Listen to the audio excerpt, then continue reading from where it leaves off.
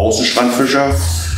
Und dadurch, dass diese LNG da gebaut werden soll, haben wir die Befürchtung, dass bei uns in den Fanggründen vor Barbe und Selin der Fisch ausbleibt. Jedenfalls, das ist ja so, hier, wir sind die Letzten.